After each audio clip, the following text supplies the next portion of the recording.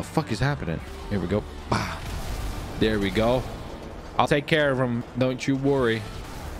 There you go. I don't understand what's happening at the moment. I'm missing all my shots.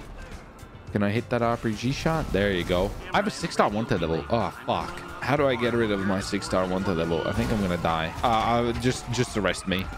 Or just shoot me. That was painful. That was actually the most painful thing I think I've done.